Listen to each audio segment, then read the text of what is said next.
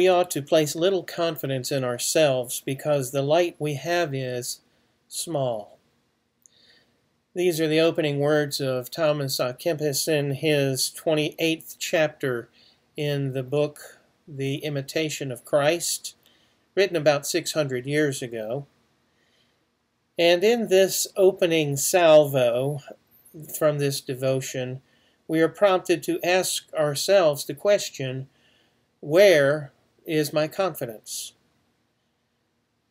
Chuck Colson, in the introduction to Steven Curtis Chapman's song Heaven in the Real World, asks the rhetorical question Where is the hope? I meet millions who tell me they feel demoralized by the decay around us. Where is the hope? The hope that each of, of us has is not in who governs us or what laws are passed or what great things we do as a nation our hope is in the power of God working in the hearts of people. And that is where our hope is in this country, and that's where our hope is in life. Colson's life is a story of second chances. He was an advisor to President Nixon in the days leading up to the Watergate scandal, and uh, he eventually pled guilty, one of seven people who were involved in that investigation. And he pled guilty to obstruction of justice, and he was sentenced to seven months in federal prison. While he was there, the Lord found him, and he found the Lord, and he was miraculously transformed, and his life was miraculously redeemed, and he began, began to be used by God in a mighty way. He eventually founded what became known as Prison Fellowship International, and that is an organization that helps men and women who are in prison to come to know Christ and to make the changes in life that will help them to move beyond where they have been to where God wants them to be. It's a ministry that survives Chuck Colson now by nine years. He passed away in 2012, and the ministry continues. It is in 115 countries around the world and employs 500 uh, staff and stewards and employees and 33,000 volunteers. That's a pretty radical transformation in one person's life. In this devotion, Thomas states that we are often insensible of our inward darkness and impelled by passion which we mistake for zeal. There's a line from Debby Boone's song, You Light Up My Life, that proclaims it can't be wrong when it feels so right. Oh, but it can. We live in a culture that has been told since they were children, whatever is right for you is right. You decide what's right and what's wrong. There's no such thing as objective right and wrong, only what works for you. Well, suppose that what works for me is to kill you and to take all of your belongings. My guess is that probably wouldn't work for you. Passion, even zeal for something, does not determine what is right. The Nazis were passionate and zealous about what they were doing. That did not make the Holocaust of six million Jews right. Passion and even zeal are some of Satan's most destructive weapons. Saul of Tarsus was passionate and zealous about rooting out Christians until Jesus literally stopped him in his tracks on the road to Damascus and shone the light of truth upon him so, until he was blinded by it. And then he was transformed into the most powerful and potent evangelist the world has ever known. We still read his writings every day in the New Testament. Thomas goes on to say that we severely reprove little failings in our brethren and pass over enormous sins in ourselves. My mom told me back when I was a teenager that we tend to be hardest on others over things that we ourselves are guilty of struggling with. This is often especially true with what we see in our own kids, who tend to be powerful little mirrors of ourselves. And when we see something in them that reminds us of something we despise about ourselves, we can be very hard on our kids in that area, when in reality we should be hard on ourselves. In the song The Cat's in the Cradle, Harry Chapin sings about a little boy who promises to grow up to be just like his dad. The problem is that dad is so busy with his job and his career that he doesn't have time for his little boy. Then, when his little boy grows up and the dad has some free time he wants to spend with the boy, the boy says, That'll be great, Dad, but not right now. I'm too busy with all of my life. And the writer and the songwriter and the singer brood over the fact that his boy has grown up just like him. When we see things in our own kids that we dislike about ourselves, that's one thing. But when we see it in other people, we tend to react even more violently. But more than this, Thomas says that we are inclined to ignore our own failings which may be much greater, while nitpicking the relatively small failings in others. Jesus referred to this in Matthew 7 when he said, Judge not that you be not judged. For with the judgment you pronounce, you will be judged, and with the measure you use, it will be measured to you. Why do you see the speck that is in your brother's eye, but do not notice the log that is in your own eye? Or how can you say to your brother, let me take the speck out of your eye, when there is the log in your own eye. You hypocrite! First take the log out of your own eye, then you will see clearly to take the speck out of your brother's eye. Thomas states we quickly feel and perpetually brood over the sufferings that are brought upon us by others, but have no thought of what others suffer from us. We should prefer to all other cares the care of our own improvement, and if strictly watchful over our own conduct, will be silent about the conduct of others. These words need precious little translation, and yet they are spoken far too seldom. My dad has an expression he uses when people talk selfishly about things, saying things like, Well, I think this, or I think that, or I want this, or I want that or I feel this way, or I feel that way. I have often heard my dad say at such times, It sounds to me like your eyes are too close together. This is essentially what Thomas is referring to in this segment. We all tend to walk around with our eyes too close together, thinking only of ourselves and how whatever is happening affects ourselves. And conversely, we think precious little about how what we are doing or saying affects others. Thomas offers a cure for this, which is essentially thinking about others, their needs, to the exclusion of our own. I've often suggested this as a remedy for people who struggle with depression. Get out there and do something to help someone who is worse off than you are, and you won't have time to be depressed.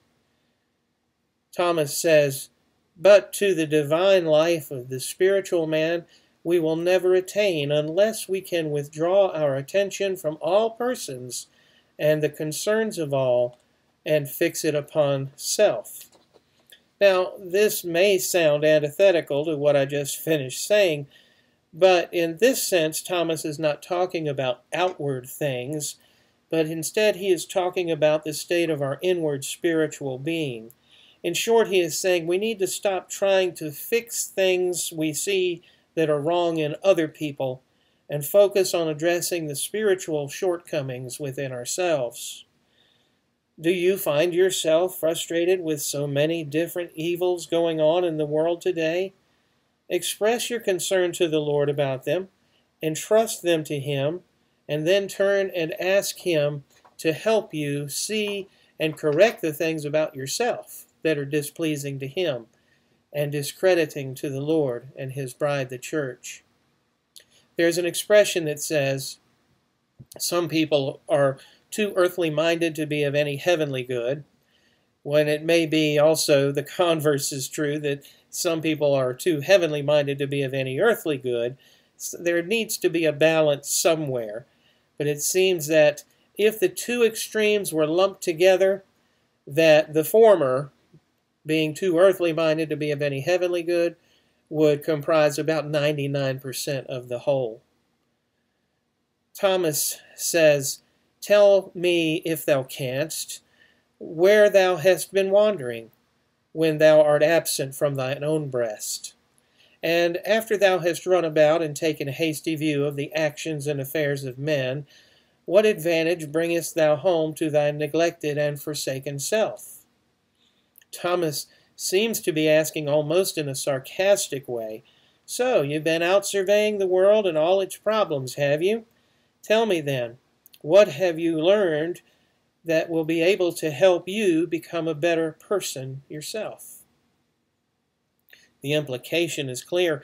If casting judgment on others does not enable one to make improvements in his or her own self, then all the effort is wasted.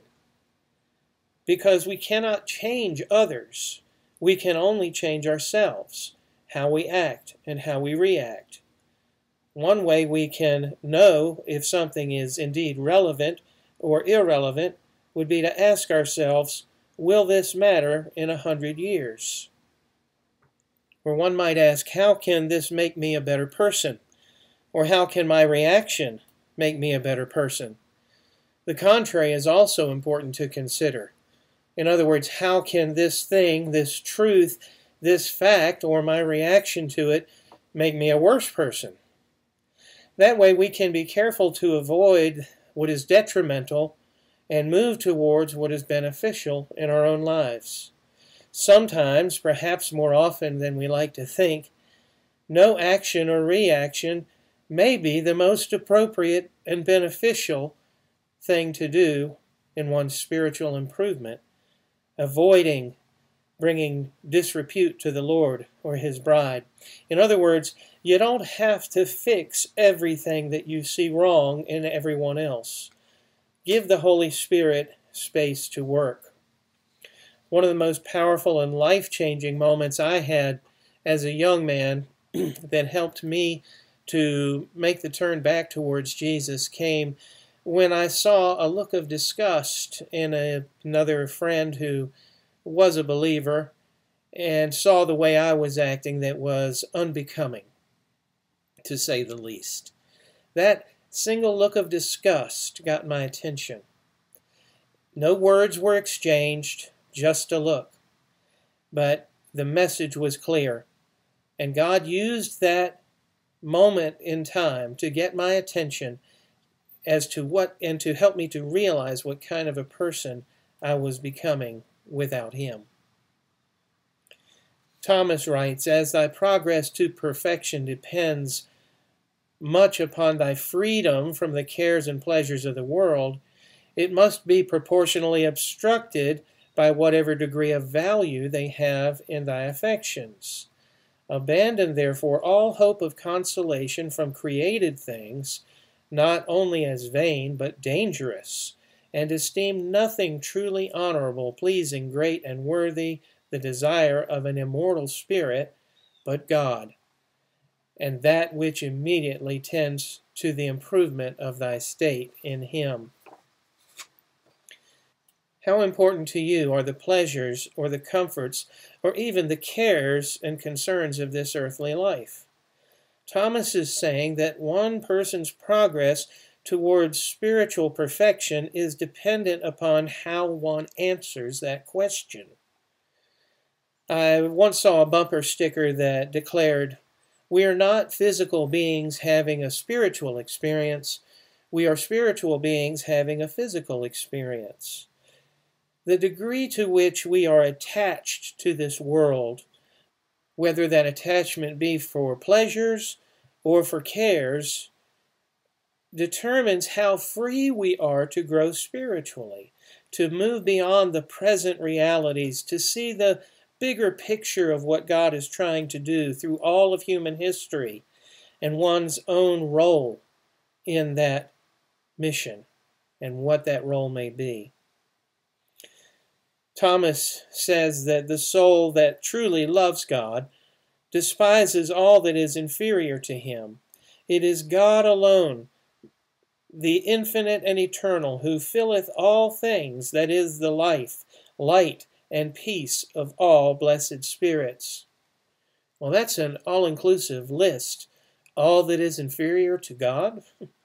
In fact, it's pretty much everything. It's every place, every possession, every person, every pleasure, every pain, even life, death itself, and existence itself, the universe, and all that is in it, angels and demons, and even heaven, cannot be more important to us than God. If someone was to ask you, what is Christian perfection? That should be your answer.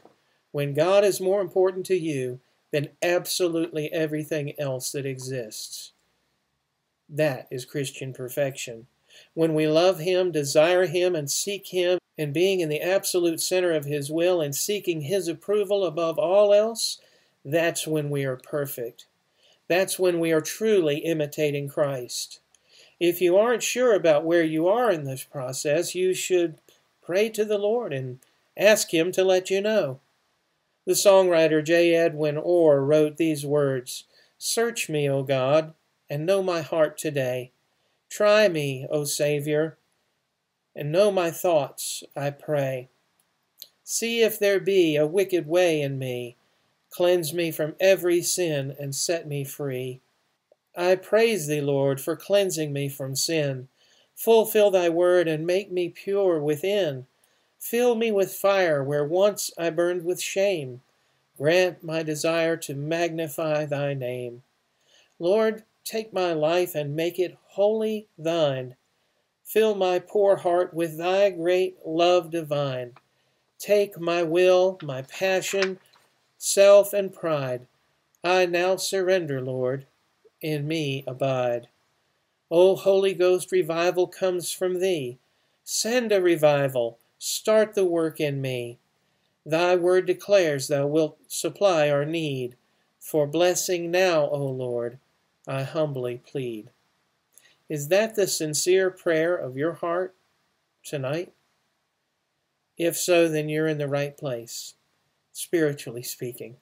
Keep praying this prayer and wait to see how God answers it. It's going to be awesome, I promise. Let's close with a word of prayer. Father, I thank you for your word to us tonight through your servant Thomas Kempis. And thank you for the way you have helped us to open it up and to come to a deeper understanding of it. Lord, I pray that you will take what has been said here tonight and multiply it as you did the fish and the loaves and make it uh, satisfying for all those who listen and watch. Help us, Lord, to know ourselves better and to know you better and to seek to know you above all and to love you above all.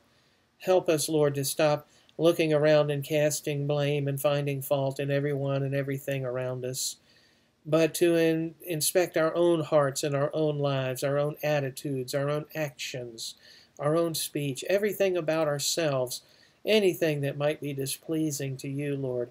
Help us to recognize that and then with your help enable us to be rid of it. Whether you take it from us or whether you help us to fight it and to become better with your help. And then use us, Lord, in a mighty way to transform this world to the degree in which we ourselves have been transformed.